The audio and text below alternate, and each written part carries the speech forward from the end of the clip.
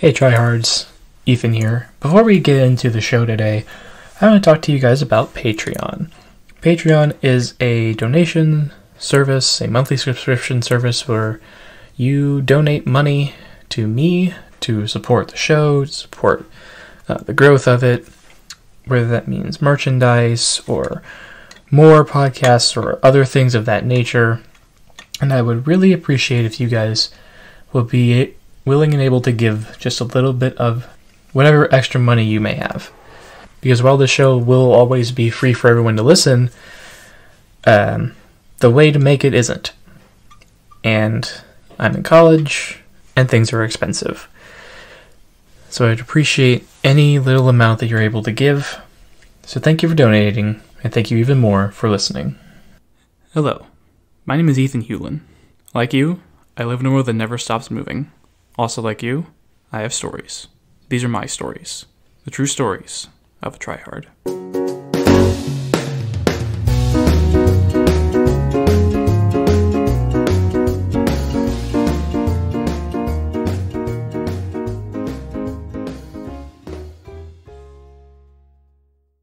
Welcome back to True Stories of a Tryhard. I am Ethan Hulen, and this week I have yet another friend from the internet, Carter Dvorak. Carter, say hi. Hi, hi, Ethan Hulen. Hi, internet. Hi, tryhards. Are are all the audience also tryhards, or are we just the tryhards? Everyone is a tryhard if they want to be. Feel that, for sure. All right, so uh, this week, listeners, Carter and I are going to be talking about something that's very personal to Carter, as I like to do with all of my guests. Uh, Carter, um, tell the, the listeners a little bit about yourself. Yeah, hi. So I am a junior in high school, and I am a person. That's just to get that out of the way. Um, and when I was younger, when I was in like elementary school, and even still now, I deal with Tourette's syndrome on a like semi-consistent basis. I think it was developed around like first or second grade is when I really started to like see it. And basically, what Tourette's is is kind of this thing where like they're called tics, so they're kind of like involuntary movements. So like every once in a while, like you could just kind of like sit there and like your hand has this like urge to like. In my case, it's a lot of like tensing or like kind of just like. ah, it's hard to describe and articulate audio wise, but just like to kind of to tense or to kind of bend or something like that, and it just can like happen kind of whenever. And I used to have one where like I had to like I would blink really hard, where your eyes just like you have this like weird kind of compulsion to like blink really hard, and then it wasn't fun. And so that was kind of happening around like first or second grade is when it really started to kind of get noticeable and get bad, and it was definitely a struggle. of something that like took me out of things. I think people like I'd had people come up to me like fellow second grade friends like why do you blink really hard? And i'm like i don't know. It just kind of is a thing. And so kind of de- dealt with that for a while and i'm really thankful my mom and parents like really dove into it as to like okay what is this? We found out we had tourette's and that i had this tourette's syndrome and they're like okay how do you work on it right? How can you fix it? We found a study in university of wisconsin milwaukee. And so we went to that study for a summer and i learned like habit reversal therapy. Basically where like so let's say if i have the urge to like blink really hard instead of doing that try to like take time and kind of like blink slowly right? Mm-hmm. And so it helped to kind of like deal with that to kind of find these like alternatives right? If i have to like bend my wrist back if that's an urge i like just kind of fold my arm so it's like doing something that is less noticeable that kind of maybe not scratches that urge, but can kind of like be a way to negate it.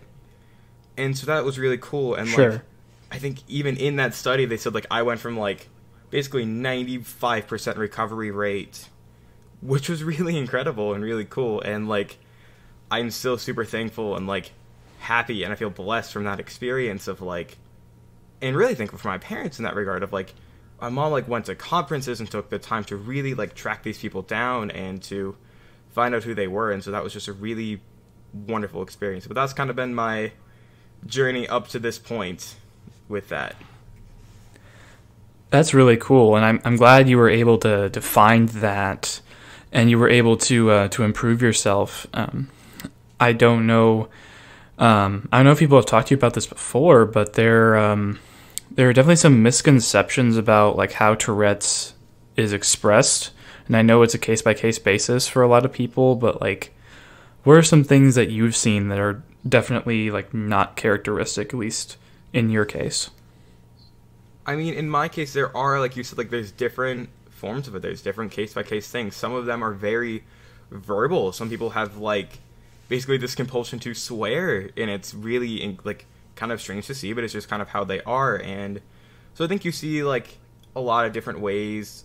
Mostly when I experience it, I don't know many people who either have it or know of it, and like it doesn't come up much, but I think could definitely maybe be seen as like symptoms of other things, or maybe even like intuitive of I don't know, somebody's like I don't want to say mental state, but like intuitive of like, oh, this guy's kind of like making a weird yelping noise. Maybe he's something, right? And so more so, though, like what you find is like these people are pretty normal for the most part, like to the extent of what is normal, but like these people are pretty, you know, fine mentally. It's just this issue of like every once in a while you're just gonna just swear with no prompting, with no context, and or every once in a while you just kind of like kind of move your arm or jump a little bit. And I think really, I guess the big takeaway that I've seen is like it doesn't really, I think, affect one's mental state that much, and so I think that's something to look at too. Of I could see somebody like from a viewer who just has no idea looking at that and thinking like, oh, they're obviously they have something wrong in the head. They always have something deeper than that when really we're pretty normal people just with these weird, you know, not even weird, like trying to find better terminology, like we're pretty normal people but just with this thing, right? This thing that we have to deal with. Right. I mean, I think everybody has a thing. It's just that with Tourette's, it's a lot more forceful and yeah. a lot more noticeable like for example, I like when I'm sitting at a desk, I'm actually doing right now. I bob my leg up and down, but um, I know that um, that is considered normal because it's more widely accepted. Um, but is is Tourette's similar to that? Like, do they do people who have Tourette's um, are their gestures just just different? Is that is that the only thing? I mean, the way I see it, like when I look at that, I think that it is, like you said, more noticeable and more out of the normal. My whole the whole thing with habit reversal therapy was kind of making them not like you can't stop them per se. You can definitely kind of like the more that you don't go into them, I think the easier it becomes to deal with it. But like it is taking something that kind of looks a little bit strange or a little bit like different, and also like can be sometimes painful. Can be sometimes like I've had like back issues and shoulder issues from like having to like tense my back and stuff. So like not major, but just like I've definitely experienced their back pain, like tensing muscles and stuff. So I think more so what it comes to is it is like making it less noticeable, right? Like instead of flailing your wrist, if you can just kind of fold your arms there, it's a lot more acceptable and not as like glaring because you know the issue is like the human eye is drawn to things that are sometimes allowed or sometimes out of the ordinary, sometimes kind of like those things. So like I think it's kind of maybe to like a method of like diverting attention and to doing something like that. Yeah. So yeah, for sure. Have you felt pressured from others who are more air quote normal to kind of suppress those things or to try and get rid of them or make them less noticeable? I mean, yes, but I don't think that always has to be in a like negative way. Like I think that there's absolutely negative pressure to be like, "Why are you doing this? This is weird. Please stop." And that can be hurtful. I think when I was definitely younger, like, hey, when you're in second grade, you're not really prone to be able to like handle stuff like that, right? Like as a second grader, to be thrown something like Tourette's, where you're just like kind of have these urges to make these weird, kind of involuntary movements that are definitely awkward to you know other second graders around you. I think I could have experienced more of that pressure there, right? People who don't know, like, why are you doing this thing? What is this? What is going on there, right? But like, I think yeah. now, especially as I've learned to control them, like, suppressing them isn't the right way of doing it. But like, to have this like, to not make them as prevalent, to not make as like, to do this habit reversal therapy, right? To just slowly blink instead of hard blinking. Also, like, doesn't take like the physical toll. Like there are definitely times where like it's weirdly exhausting when you just have this like wind of having to like move or like tense your muscles or flail like kind of flail stuff like it also like takes a physical toll of like that's tiresome you know it's like kind of intense muscle movement so like in a weird way i have learned to suppress them but not in like a bad way not to bury them but more so to take them work through them to deal with them that way so that they aren't as noticeable and they aren't as big of a problem to me really yeah that seems like a very constructive way to um, to approach it. And you know, like I said earlier, I'm glad you were able to find that. So, like, what was your kind of day to day experience while you were doing like that study? Did that help you like kind of unpack why you do what you do? I definitely think so. I think that like it was it's a funny story. Like we went to like I lived in Virginia and we, you know, my mom tracked on these colleges. I think it was run by a guy named Doug Woods, and we went to Wisconsin. We went to like Milwaukee and like rented an apartment for a summer and thankfully we had like a smaller like family cottage spent on our family for a while, like kind of across Lake Michigan. And we were able to like take a like a ferry back and forth there, but like that summer was definitely sticks out of my mind of like at the very beginning it was very different and kind of confusing and weird and nobody knew what was like like we knew what we were going on, but it was still like this very foreign environment. But I think to like one of the things that they'd have you do is kind of in prepped like basically you had like I'd say it was 10 or so sessions, right? And you kind of worked on each tick in each of those sessions, like a different one. And so I think ahead of time, they basically had you fill out this chart where, like, you go sit, you go do whatever, right? For me, it was watching, like, Avengers, like the Avengers cartoons, and, like, you'd sit there and then personally, you would monitor yourself. You'd say, when do these urges come up?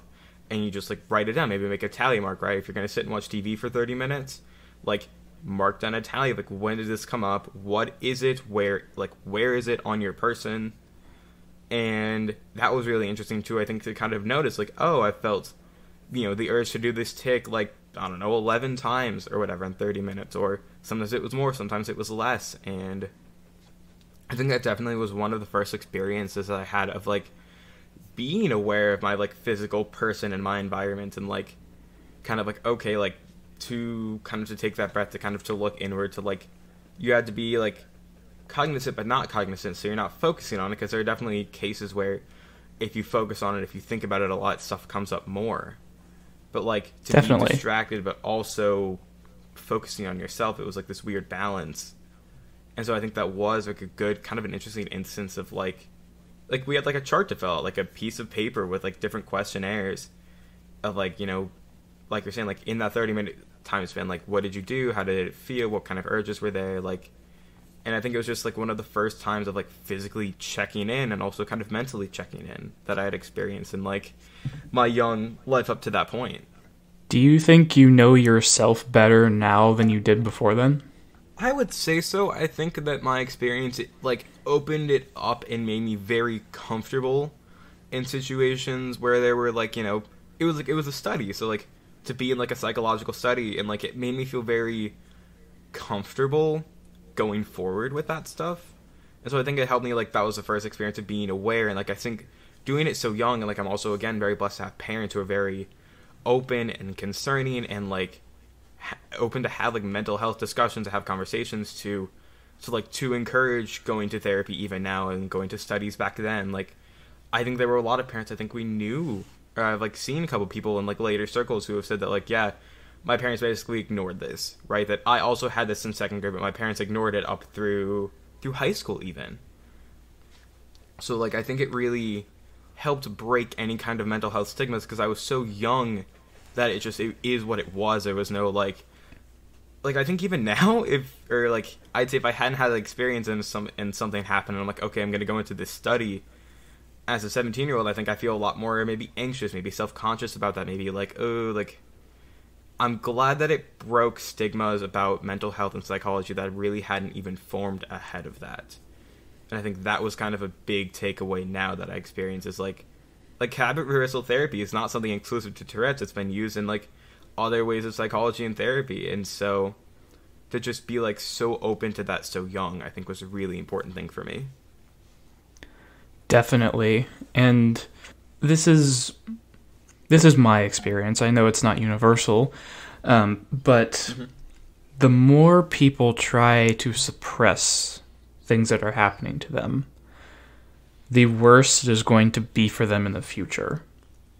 And you having that ability to um, to not have to deal with people who um, who went to um, to not have to deal with people who wanted to basically act like your problems didn't exist or that they didn't matter really helped you in the long run. And I think that's what really could help a lot of people in the long run.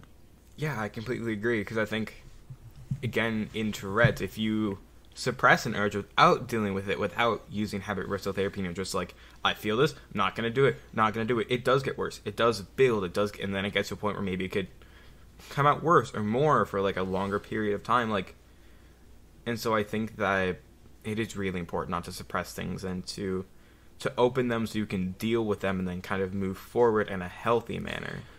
And it is, it's difficult. I definitely, like you said, like I know a lot of people and I've experienced a lot of people who were more so having to bottle things up at a younger age because it just they couldn't deal with it or people around them didn't want to have to deal with it or they couldn't get the proper help that they needed or the help.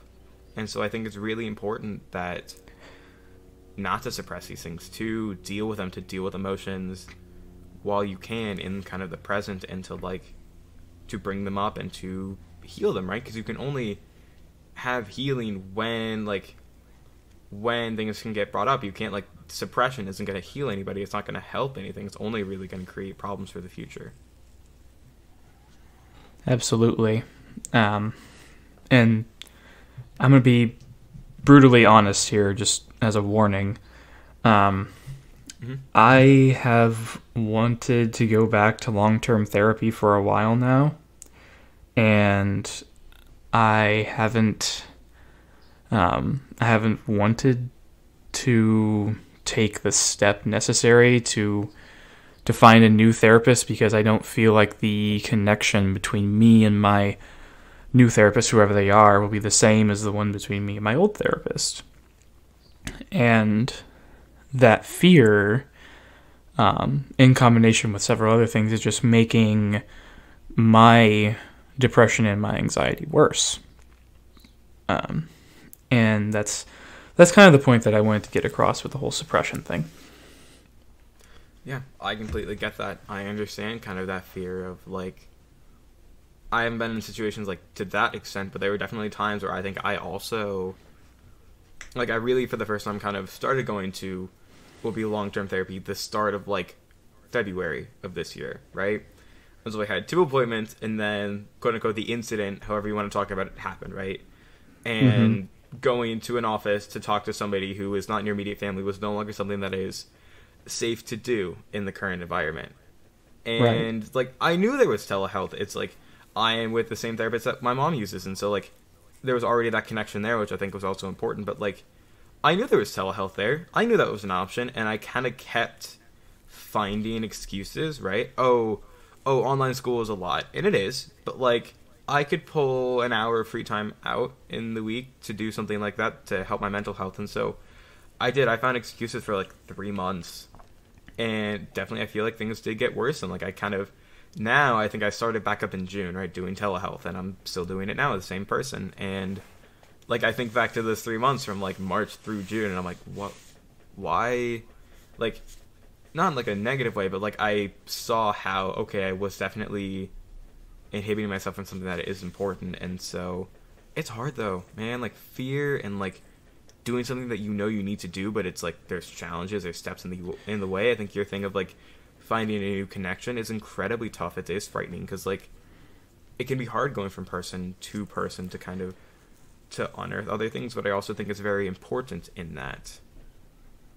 Yeah, and I kind of feel like a hypocrite because one of the things I say on here pretty frequently is to is for people to get help if they need it, while I'm sitting here not getting the help that I need. But I guess yeah. I mean part of my mission really is to be open as open as I can with what what's going on uh, with me personally because I feel like that I need to set an example. And when I don't, I feel like I have let people down. I feel that I can kind of relate to that too, and I definitely think that in a sense we are all, not in a bad way, a bit hypocritical, right? Especially people with podcast platforms and things like I who like speak to other people. Like I definitely, you know, we can definitely say things that we don't necessarily adhere to. Like I have, I'm not trying to be this as a plug or anything, but just like I have a podcast about good news, right? And I Yeah. think a big central thing is like to to reason to like to look to good news. It's a great thing for mental health. It's a great thing to, like it does help me. But like, do I go on to like GoodNewsNetwork.com hardly as much as I go on to like Fox News, CNN, NBC to like read about all the crazy stuff happening in the world? No, like, and so I kind of relate to that regard of like, you know, preaching out to like to say to the people like, you know, do this. This is great. This is important for mental health. But like also to fail in that regard, yeah, and to be like not this novel person when it comes to good news or like mental health. And you know, I also think too though that like it's okay to falter. Like if there's one thing I've learned in quarantine, and one thing I've learned is like it's okay to to you know screw up. It's to err as human, right? And so Yeah. I think it's okay to to have those kind of issues because even if maybe you are internally a hypocrite, those still that doesn't take away from your message, right? Because I think No. you know your message is true, your audience knows your message is true, and so I don't think that like if you're struggling to find therapists or find somebody who can help you, and you're also telling other people to still help them, that still means that like if they go find something that does help them, that still means that your message is going across, and I think that that is important, and I do, you know, it is important to find people and therapists you connect with, and it's, it's important to find health. It's important to look at good news, but if you spend an hour doom scrolling, that doesn't mean that your message is any less important than it is. It doesn't mean that it's any less true. Absolutely. All right, so uh, to kind of round things out, uh, Carter, do you have any encouraging words for, for the listeners who are tuning in this week? I mean, back to what I was just saying. Read good news. It's it's an important thing to do. Like, and again, I'm older with it too. But like, it's still important to Google. Just Google good news. There's like websites dedicated to like random news stories. That's a big thing that's helped me. It has helped keep me sane as much as I have gone down doom scrolling, and as much as I have you know gone down rabbit holes of like these are all these scary things happening in the world. It still does keep me sane to just kind of go through. I think looking at like good news and people helping people, which is something that I find is not as portrayed, is something that is really important. I also think, kind of to your message, if you need mental health, if you need that kind of help, to find somebody. Do, you know, it's important to take even those first steps. Like, to keep doing that to maybe find a buddy, maybe find somebody else who's similar to you. Either maybe if they have mental health, see if they can, you know, find somebody to refer you. Like, yeah, I think those are two important things. I think find connection right now. Like, there's still a pandemic going on. There's still isolation, whether it can be online. Like Ethan Hill and I are in the same Discord, and it's incredible and it's fun to like have that connection. I think find some means of connection to the people around you, to the world around you. I think is very important as well. Those are just what I can think of off the top of my head, but drink water. Drink the suggested amount of water as well. That's another one. Yes, please do. Um, water is very important. Oh god, I'm gonna have to edit all the Carter drinking water sounds out of this. Uh, it's fine. Sorry. Um, Anyway, Carter, uh, you kind of brought it up earlier, but is there something that you would like to plug? It is. If you want to hear me talk about good news and just kind of other things, uh, me and a group of friends who I've met in a different online community that was more so for like high school students and AP students, uh, PositiviTea Podcast. Like the T is a T E A, not like an I T Y.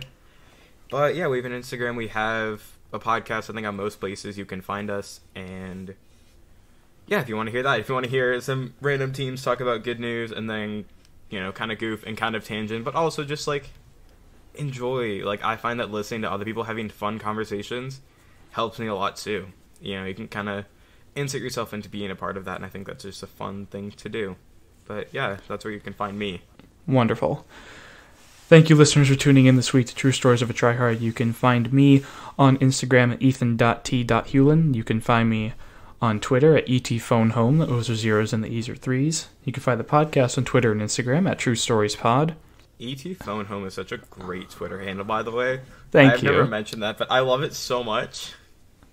It took me a while to find it. I actually I accidentally added an extra S on the Twitter handle in order to get it like legal, but it's fine.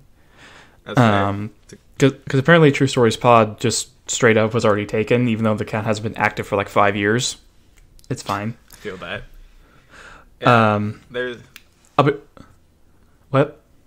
uh uh nothing. Yeah, I feel that of like different accounts that like haven't been active for a while. Like there's another positivity podcast, and they like speak in like a different language, and it's just like they have the title before us though. But um, it's just funny that like to find old accounts. But yeah, Yeah.